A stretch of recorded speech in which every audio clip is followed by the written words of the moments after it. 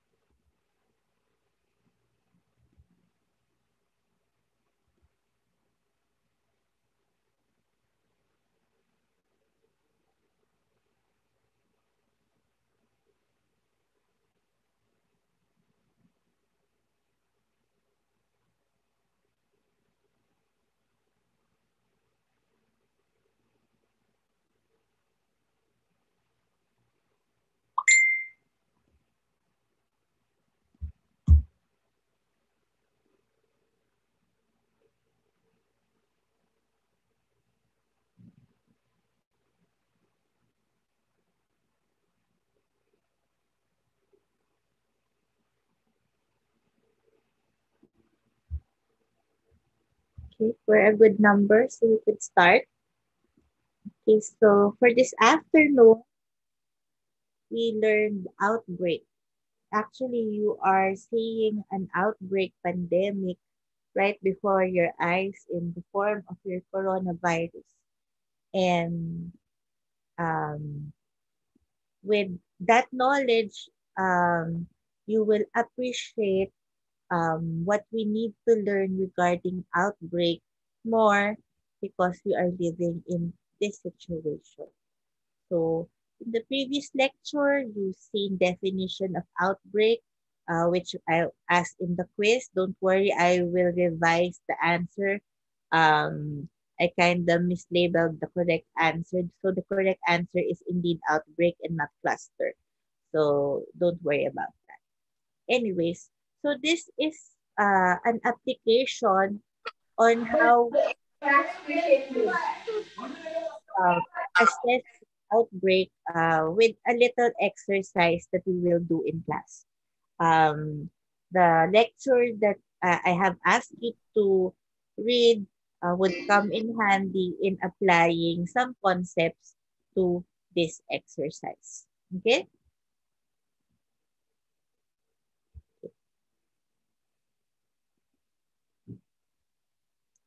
So this case study was adapted from study files for outbreak investigation from CDC.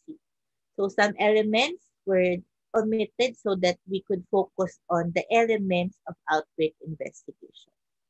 So this is a real life outbreak investigation undertaken in Texas 1998. So some aspects have been altered a bit to assist in meeting the desired teaching objectives and allow completion of this case study. Okay.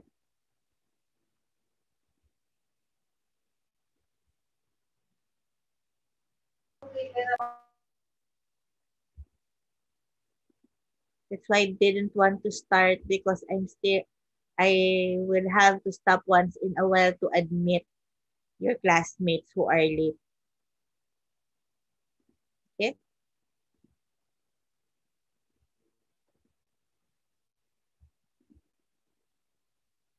Okay. So what happened to us?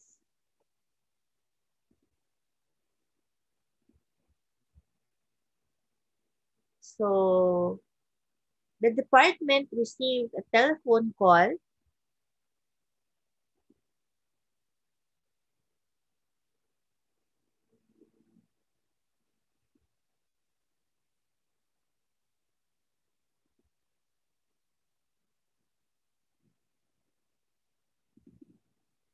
if you are having bad connection and you have to admit and readmit all over again, you could also um, watch this lecture at the YouTube channel if you're having trouble connecting with Zoom. Okay?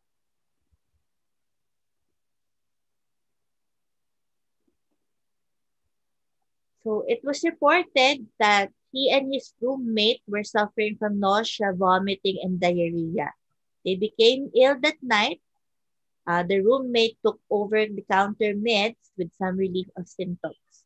So neither saw a physician or went to the emergency room.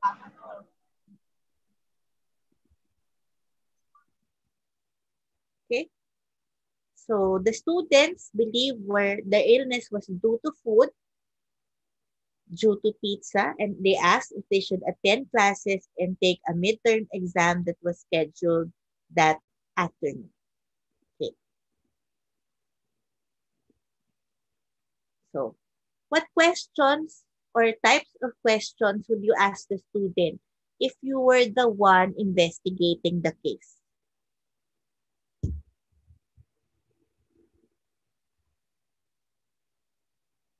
What more questions would you like to ask?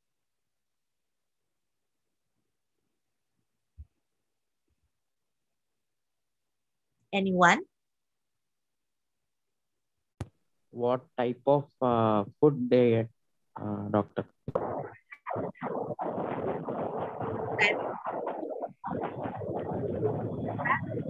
Or what state was would the pizza be?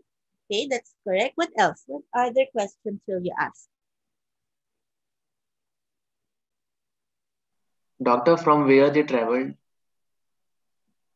Travel history. Okay. Where else did they go? Where else? Doctor, what are the hygienic conditions? Hygienic conditions they were under. Yes, So doctor. in so in real in relation to, for example, an outbreak such as coronavirus, so this is more or less contact tracing as well. Where did the students go? What did she do, etc., etc. So these are the type of the questions that one would usually ask. So what? What is the person's problem?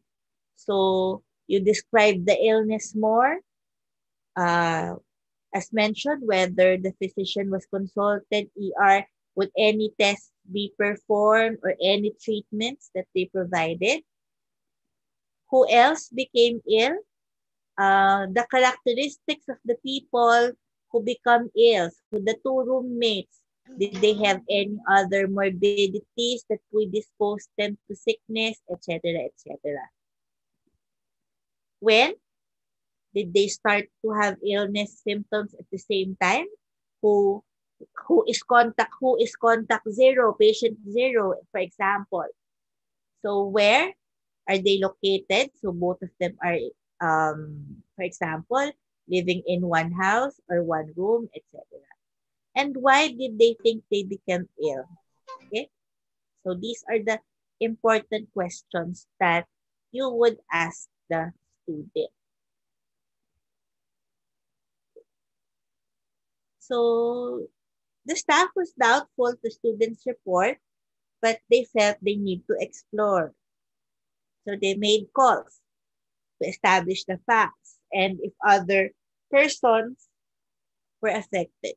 So the pizzeria where they had eaten closed until 11 a.m. No answer from the student health center. So a message was left on the answering machine. So then, a call to the emergency room at the local hospital revealed that 23 other students had been seen for AGE for the last 24 hours.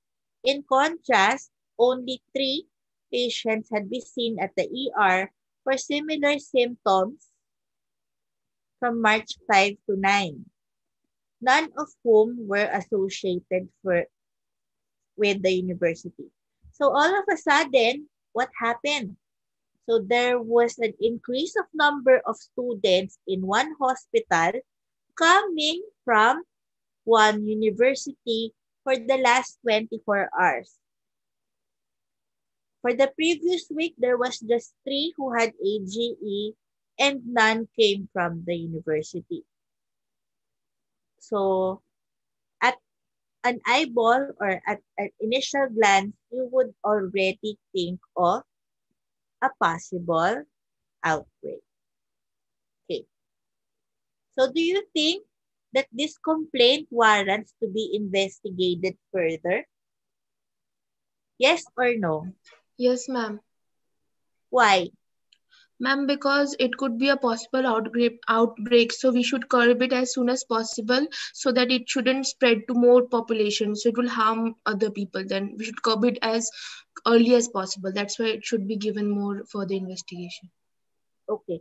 So um, using the past lecture that I have asked you to view, what is the definition of outbreak?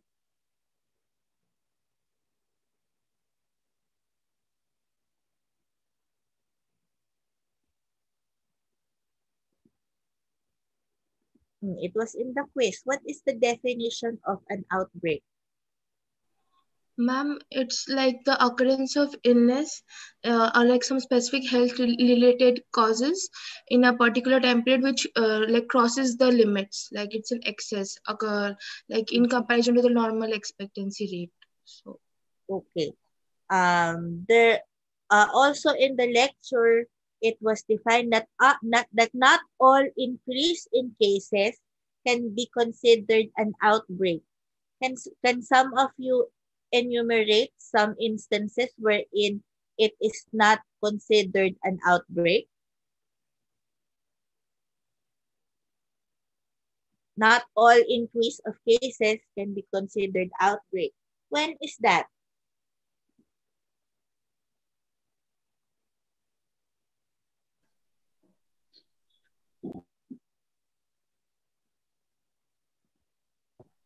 Ma'am, when there is Okay, go ahead. ma'am, when there is increased local interest or public awareness. Okay, when there is increased awareness, of course, reporting would increase. So it would just increase detection. Same way if there are new screening, criteria, etc. Same way, even if it's just one case, but if it's a, an increase, for example, for a disease that is supposedly eradicated, such as polio, just one case, you do not need to have thousands of polio cases for you to consider that a disease is an outbreak. Clear on that? Okay, so let's proceed. So at 10.30, so the physician returned the call and reported that 20 students with vomiting and diarrhea had been seen the previous day that was believed that only two students were affected. So usually he would only see one or two, typically on a day and in a week. So the health center has not collected stool specimens from any of the ill students. So if you are part of the city surveillance unit asked to investigate the situation, what will be your initial response? Do you think these cases of gastroenteritis represent an outbreak at the university? Why or why not? Using the concepts that you have learned in the previous lecture.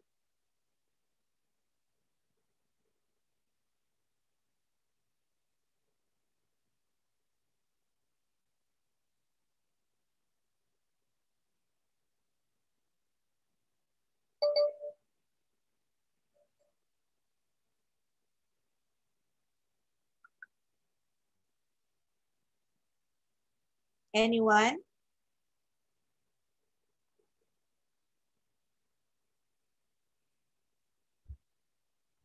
What do you think?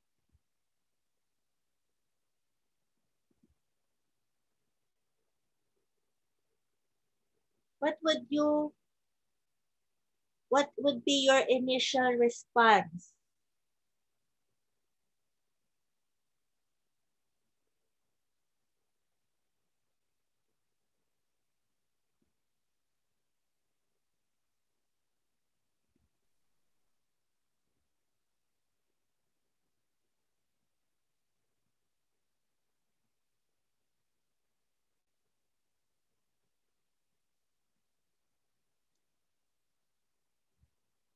Anyone? Do I have to call?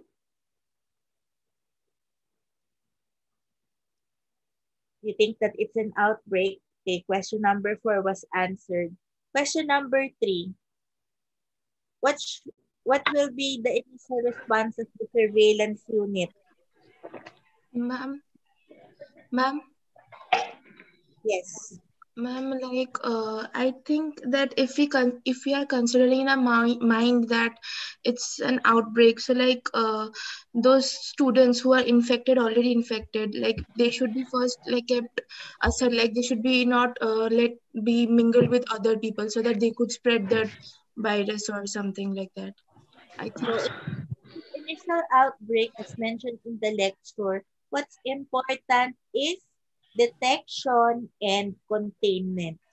Limit the number of affected individuals. In this case, if they think that it's related to food, initial response may be closing the bacteria that they suspect would have been the cause of the acute gastroenteritis and the. Okay?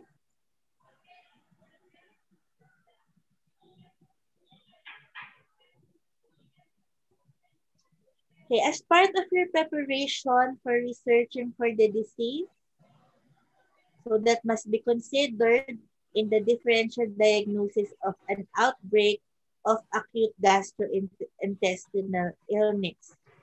So, broad categories of diseases that you must consider aside from acute gastroenteritis for nausea and vomiting. What else could you think of?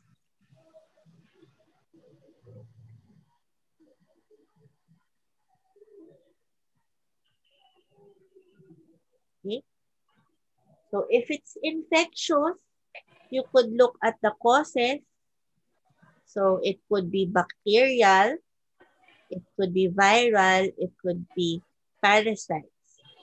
There could be toxins, and others, it could be psychogenic. Why psychogenic? Why do you think you could consider psychogenic in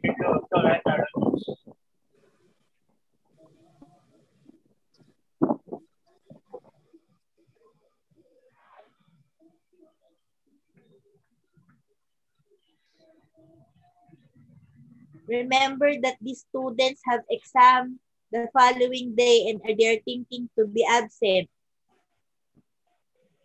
So that could also be a differential that you should consider. Of course, listed would be bacteria, the viruses, and parasites, and all toxins that could cause your acute gastroenteritis. What's your next step then?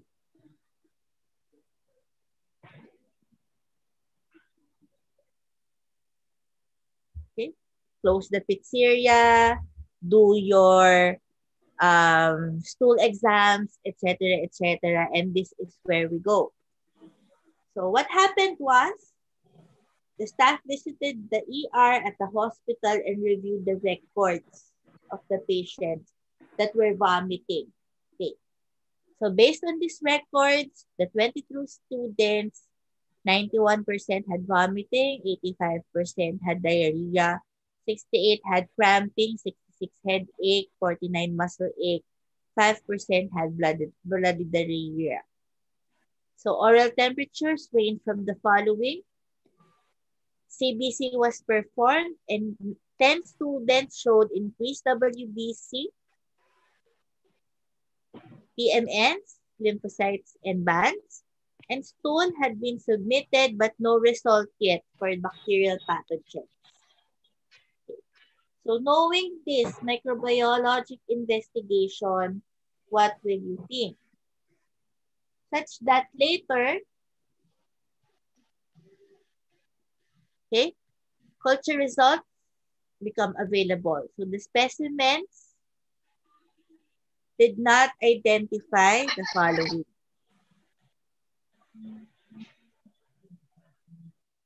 But some specimens were positive for fecal leukocytes and fecal occult blood. So how might you interpret the bacterial culture results? And what questions do these results raise? So they did not identify Salmonella, Shigella, Campylobacter, Vibrio, Listeria, Yersinia, E. coli, Serious, or Staph.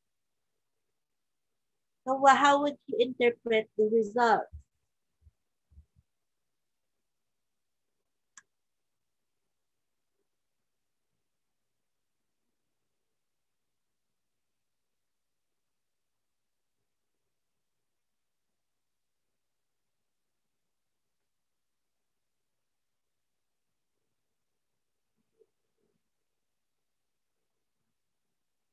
like severity and significance of the uh, infection. What?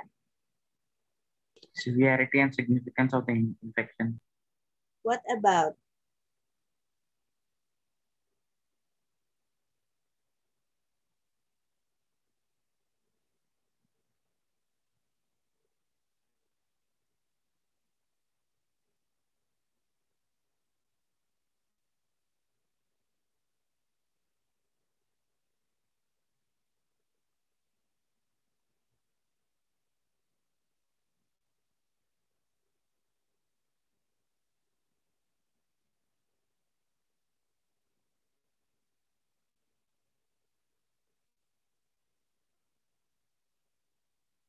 Why are the results negative?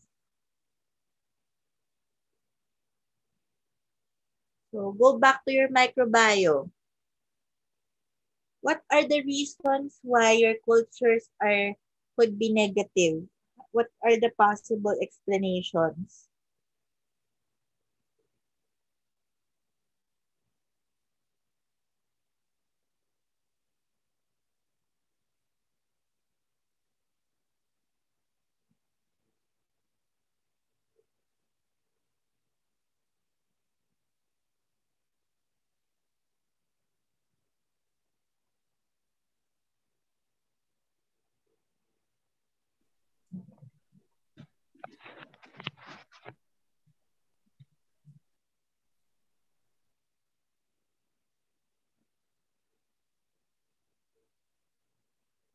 What are the possible reasons why you have a negative culture?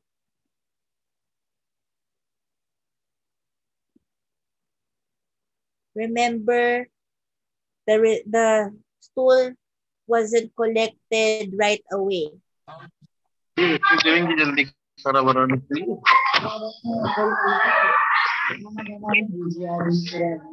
Uh. वो कह रही है एक दिन आपको छुट्टी मिलने क्या था लेडी हैं Are you answering? Your specimen may be mishandled. Your your exam may be done late. Also, what? It could be that the bacteria that caused the AGE was not among the bacteria that was tested. It is some other bacteria. You know that the test may be specific for, for a certain type of bacteria. Okay?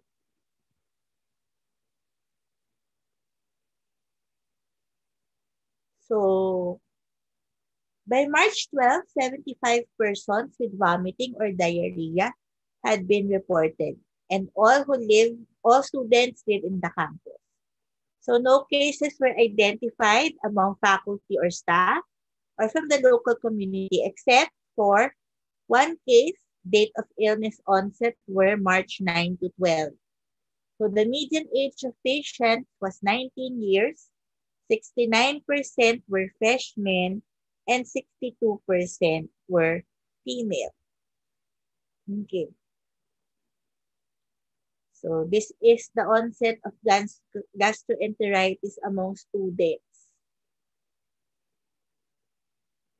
Okay. So how are you going to describe this epidemic curve?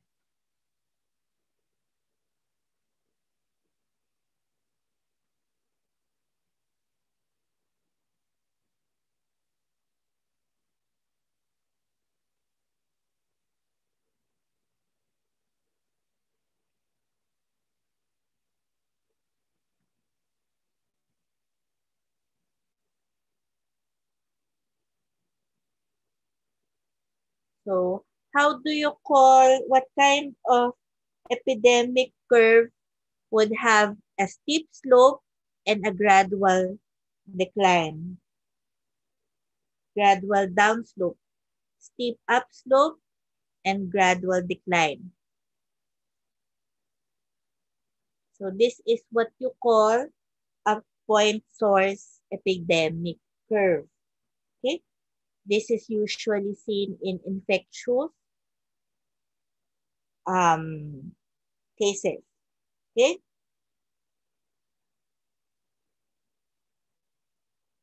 So it means there's sudden exposure and then knowing that there is exposure, you suddenly withdraw exposure, then causing the gradual downslope.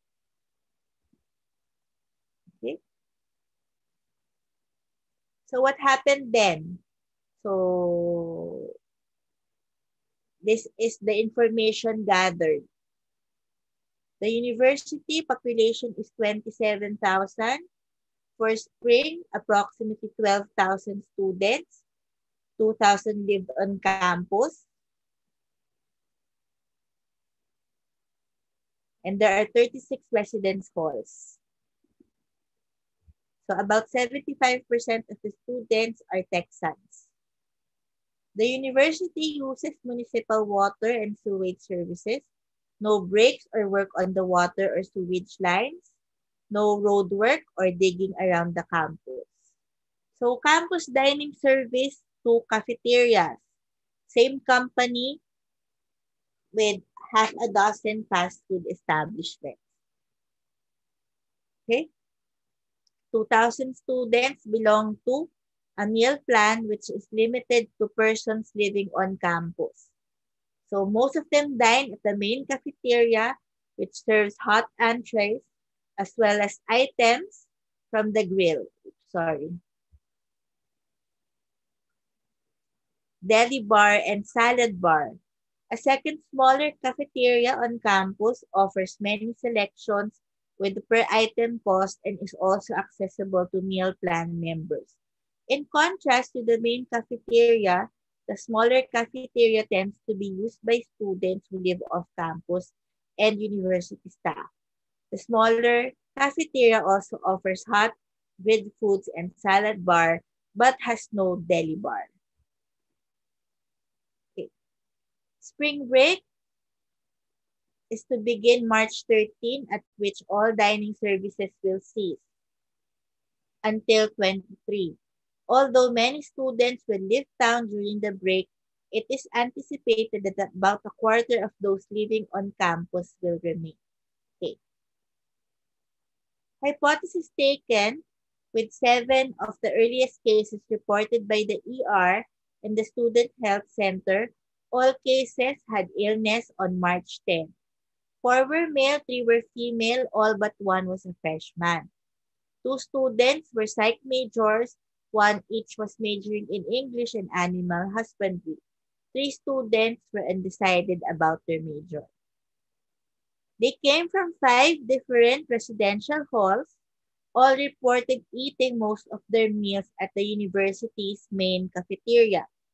So during the past week, all but one student had eaten food from the deli bar, two had eaten food from the salad bar, and three from the grill. Seven-day food histories revealed no particular food item that was common to all or most of the students. So what do you think so far?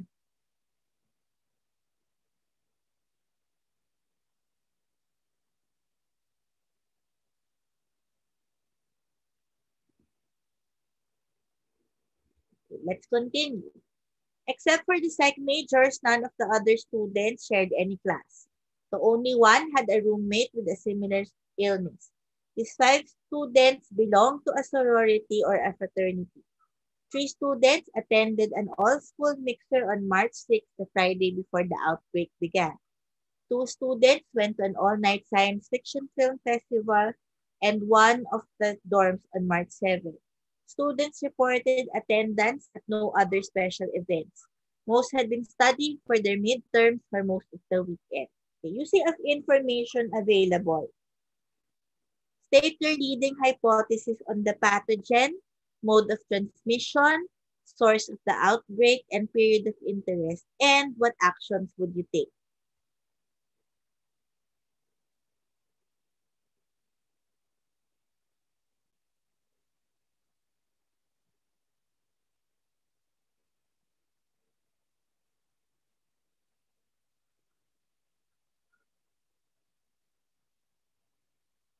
First, we must contain the outbreak, doctor, and next, uh, we will uh, we must find the source of the outbreak, and uh, we must find that uh, incubation period of the uh, infection, doctor.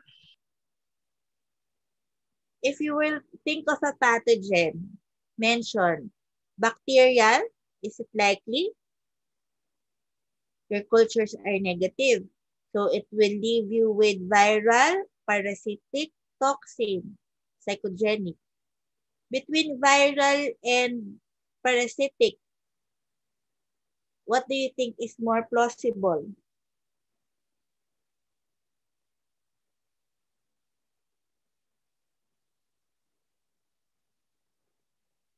with the description of the symptoms, onset, epidemic curve. Which is faster, viral or parasitic? Viral. your viral. So Yes. the behavior points to a viral cause of your AGE. Mode of transmission, how do you think did they get the virus?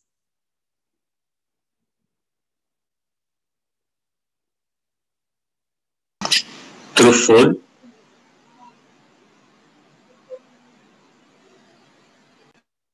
Through food. From? Food from the university cafeteria.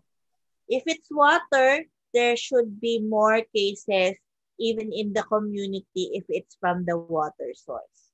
Okay?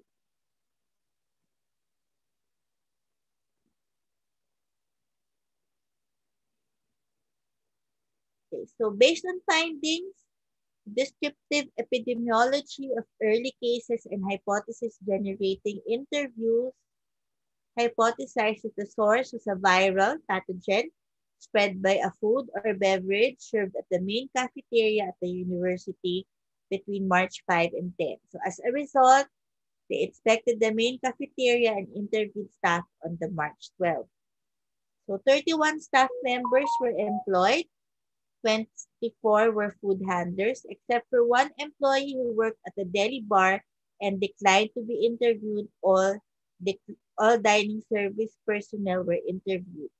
So what key areas should be explored during the interviews with the cafeteria food handlers?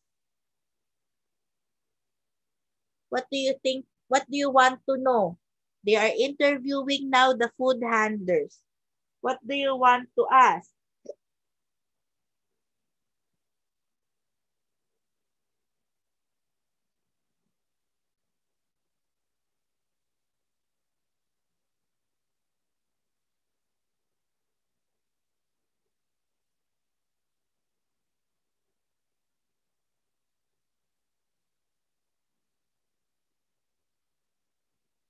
Uh, we can ask them about the food uh, they are serving the people. Like, How uh, the food? Did they follow sanitation protocols and the like? If they had hepatitis, etc., a vaccination, wash their hands, etc. So most of the things are outlined here. So identify the food items served, the ingredients, etc. Determine staff or family members were ill. Hand washing technique. Collect the stool specimen from the handlers. Watch or reconstruct the procedures done in the kitchen, work schedule, and recipes. Okay. So they were questioned about the responsibilities. Which meals they serve, where they work, etc. So in the cafeteria, the deli bar had its own preparation area and refrigerator. So during mealtime, sandwiches were made to order by a food handler. So each day, newly prepared deli meats, cheeses, and condiments were added to the depleted deli bar items from the day before without discarding leftover food items. So while the deli was open for service, sandwich ingredients were not kept refrigerated or on ice. So the deli bar containers were not routinely cleaned. Samples of leftover food, water, and ice were collected. Okay. None of the food handlers interviewed reported being ill in the last two weeks. So cultures were requested. So before dinner, March 12, the department closed the deli bar. So do you agree with the decision to close the deli bar? So what actions would you take now? Ma'am, Yes. Ma'am, like uh, they closed the deli bar on the basis that uh, they didn't clean or they the sanitization was not proper and they served the leftover food which was not refrigerated also properly.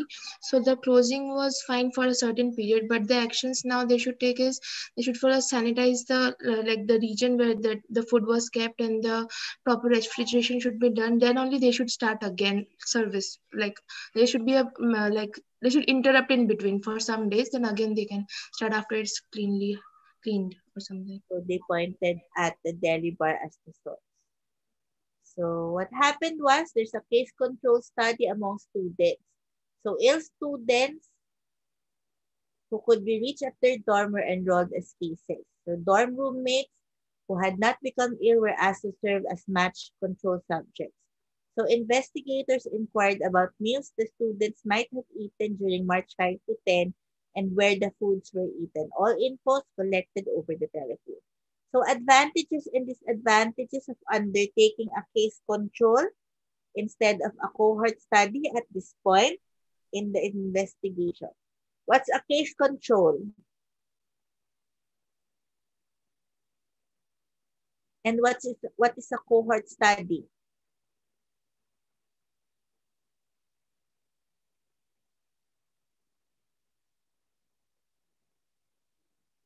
Anyone remember our previous lectures?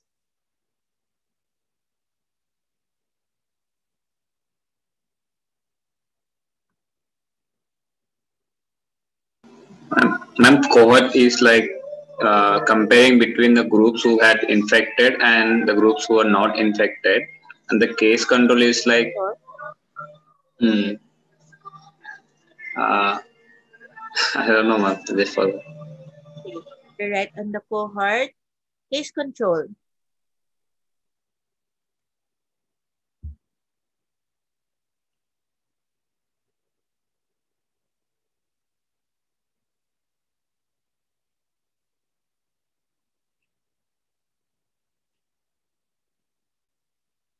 What's a case control study?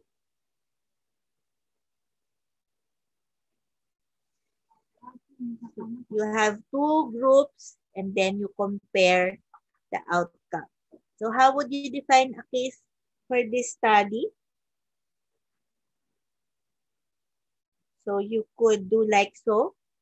A case was defined as vomiting or diarrhea. So LB, loose bowel movement during 24 hours with onset in a student from the university seen at the emergency room. Okay. So what elements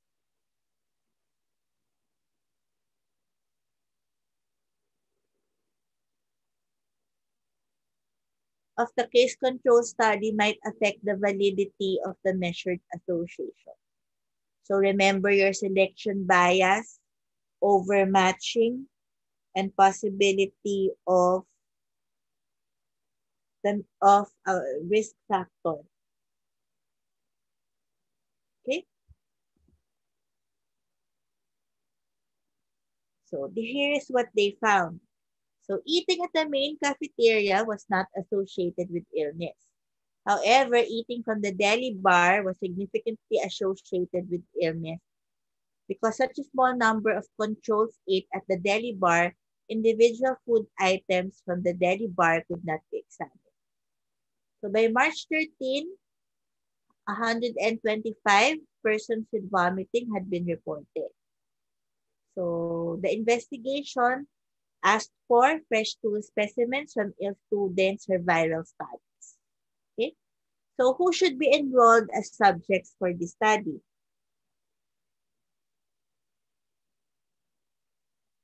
Do you think? You could get the 125 or you could get all the students who ate at the deli bar, etc. So at the main cafeteria, I mean. So what happened was a case was defined as vomiting. So 40 cases were randomly selected from the 125. So they chose only 40. 160 controls were randomly selected from the university meal plan database. So investigators considered collecting information for the case control study through face-to-face interviews. So advantage and advantages of each method of data collection. So which, which method would you recommend given the circumstances around the outbreak?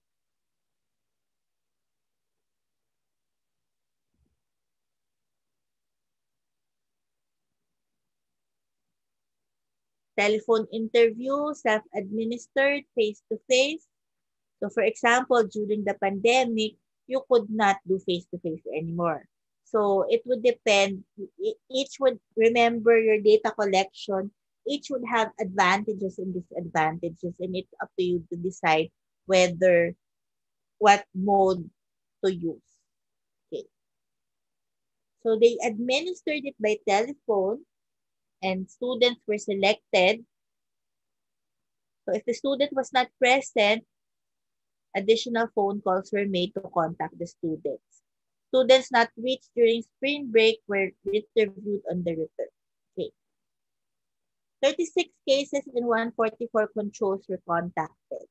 So cases included in the study were similar to all cases, etc. So results were tabulated as follows. While only persons who ate at the main cafeteria for the specified period were included in the meal analysis. So here is what they found out.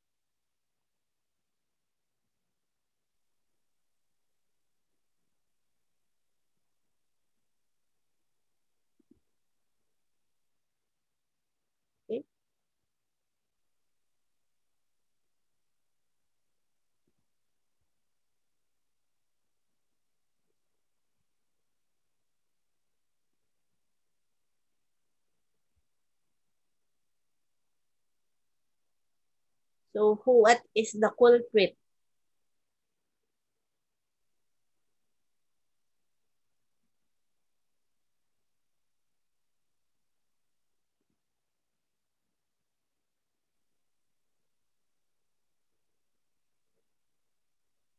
So they isolated it deli bar March 9 to 10. So which is the culprit?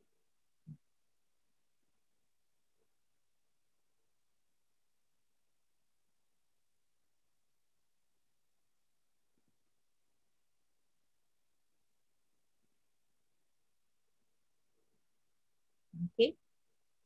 So other investigations, water and eye samples obtained from the cafeteria were all negative. Stool cultures and rectal swabs for the food handlers were negative. The one who refused to be interviewed worked primarily at the deli bar. When she finally agreed, she reported slicing ham on March 9 for use at the deli bar during lunch and dinner that day and lunch the following day. She also prepared and served sandwiches for the same meals. So she had worn gloves while slicing the ham and while serving sandwiches at the deli bar. She denied any illness during the outbreak period but reported that her infant had been sick with watery diarrhea since March 7, two days before she prepared items for indicated meals. Because the food handler wore gloves during food preparation and serving, she did not feel that hand washing was as important.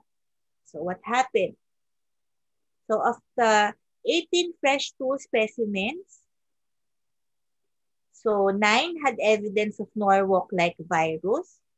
Of the four deli foods available, only the ham sample from March 9 was positive for Norwalk virus was also detected in the stool sample from the ill infant of the food handler who prepared the deli sandwich on March 9. The sequence of the amplified product was identical to those products from the ill students and the deli hub. So do you think evidence implicates the food handler as the source of the outbreak? Is it conclusive?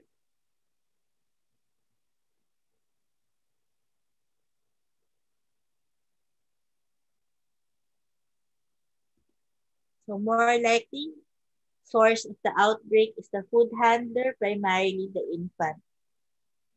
So spring break ended, the chief of the campus food service called Texas department to find out what must be done to reopen the bar. So which of the following actions would you recommend?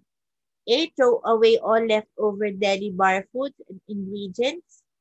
B, clean and disinfect all equipment and surfaces in the deli bar. Require all food handlers to submit a stool specimen before allowing to return to work. Educate food handlers and develop a sick food handler, etc. Okay? So that there's no recurrence, uh, following steps should be followed.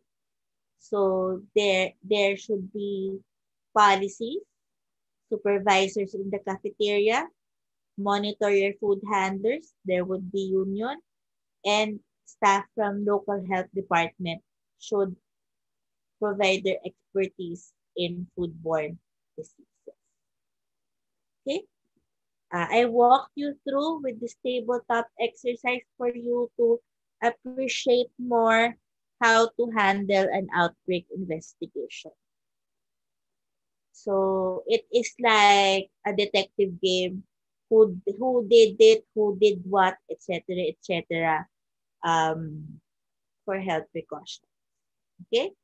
Um, I hope you under uh, appreciated outbreak more and maybe in the light of the coronavirus, you will understand how difficult it is for our epidemiologic experts to live in the coronavirus era where everything is new, things are to be discovered, and we are just on our first year of our epidemic curve. Okay? So, if there are no more questions, you may leave this lecture. You may go back to this lecture on YouTube uh, to run it again through your mind to understand it better. Okay, thank you. See you on Friday.